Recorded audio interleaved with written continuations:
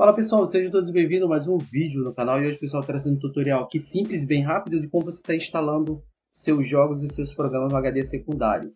Né? É bem fácil, mas se você não prestar atenção você se enrola um pouco, como o meu caso aqui. Eu estou com minha Steam aberta aqui, ah, mostrar aqui minha loja, minha biblioteca de jogos.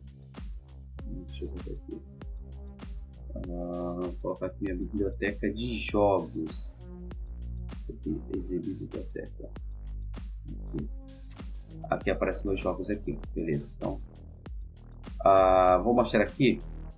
Eu tô com um HD, que é o sistema operacional no SSD de 128, de 120 e meu HD de 1 TB. Então eu vou instalar o CSGO aqui.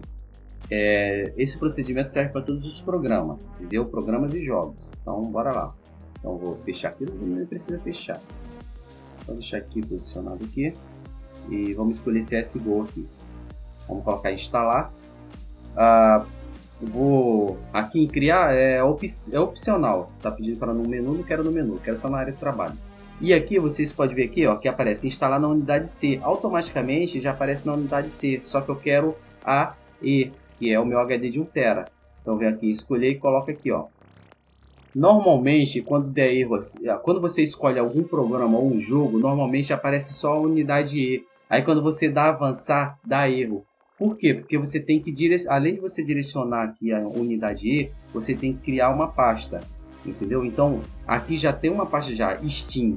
É, mas normalmente, quando você vai instalar um jogo e alguns programas, no meu caso aqui, que já aconteceu, por exemplo, do Camtasia, quando eu direcionei, e o Sony Vegas, é, apareceu só o E. Quando eu dei avançar, deu erro.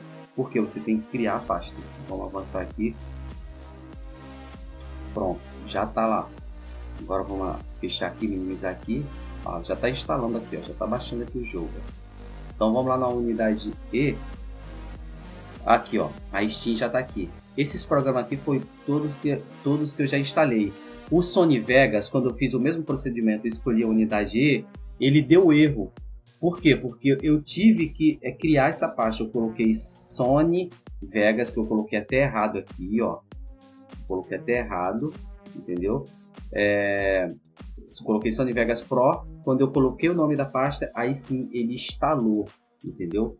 Então é isso. Em alguns casos, você tem que é, selecionar a. Além de escolher a unidade, você tem que é, nomear lá para onde ele vai. Por exemplo, você cria uma, uma pasta. Não precisa, você tanto pode criar aqui uma pasta, né? Você pode criar uma pasta aqui e colocar, sei lá, uh, CSGO no meu caso.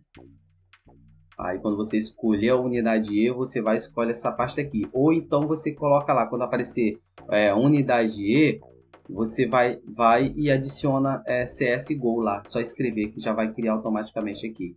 Então não vai dar erro, bem simples, beleza pessoal?